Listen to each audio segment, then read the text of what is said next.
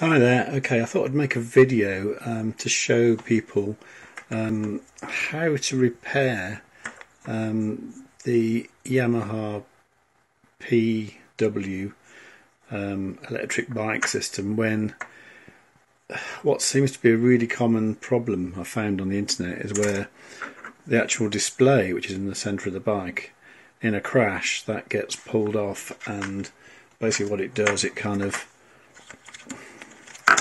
it kind of breaks the plastic back here where it actually joins on to the main kind of shoe that holds the display. It's this display. This is the PW, not the PWX.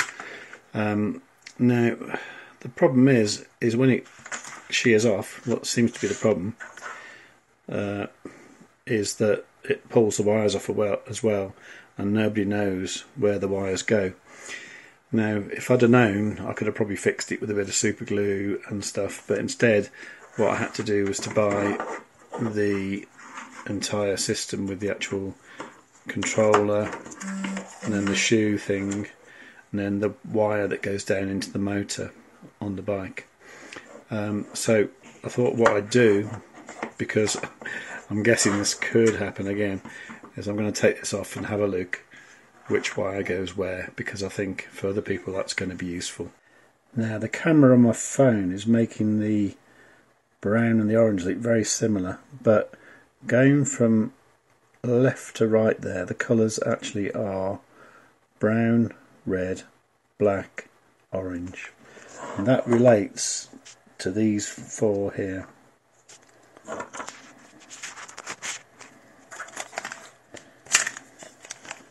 So that is brown, red, black, orange. Now I think armed with that knowledge, a lot of people can fix their displays for the price of a bit of super glue. If you don't want to do that, uh, I'll leave a link to order the actual part down below and I'll show you how to fit it to the bike.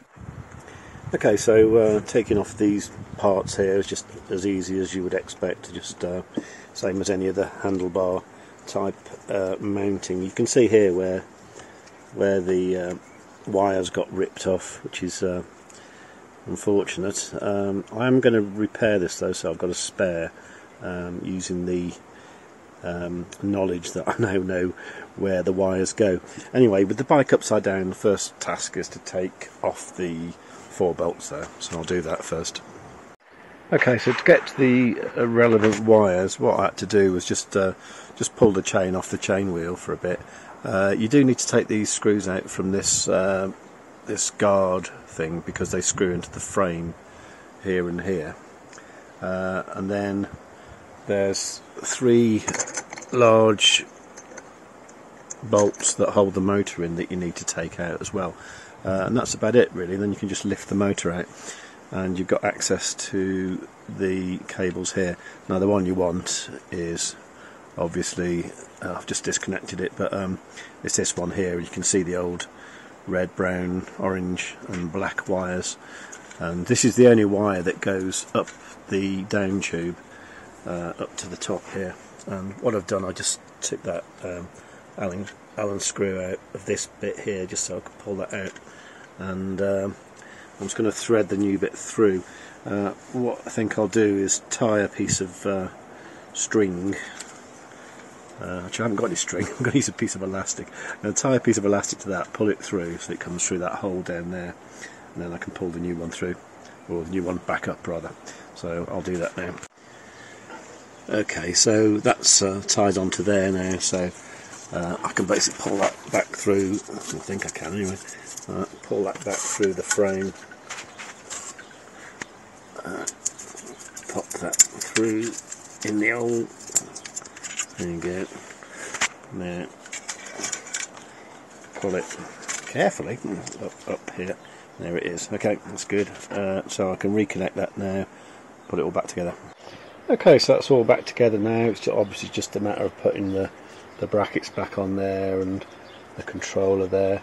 Uh, this kind of cable tie type stuff, it's very obviously just sort of like wrap it round the cable and it's you know holds everything kind of neatly in place. Okay, so I got the battery back on it. So a moment of truth now. So at the display. and come over here power on that looks good and just check the uh, modes change alright yeah that's all good and check the selector switch works. Yeah that all looks fine. Okay so that's a bike repaired.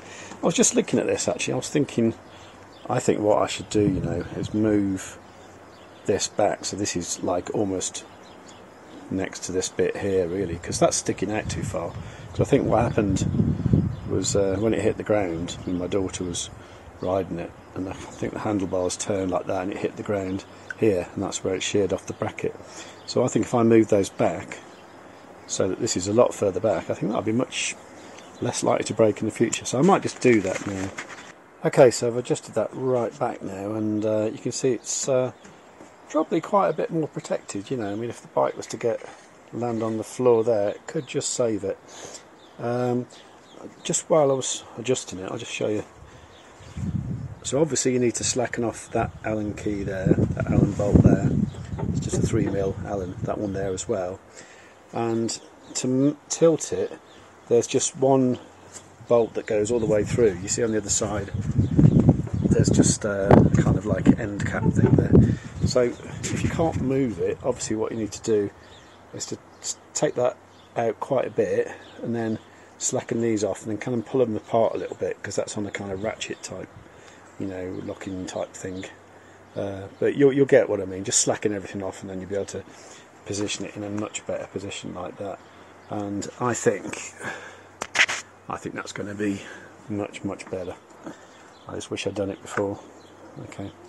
Alright, so uh, yeah, everything works good. Uh, that's about all there is to say really. Uh, I will leave a link to the parts in the description of the video below. And uh, yeah, ride safely, have fun. And uh, if you've enjoyed this and found it useful, please like and subscribe. I do lots of videos about various things, and some might be of interest, some might not. Alright, cheers then, bye.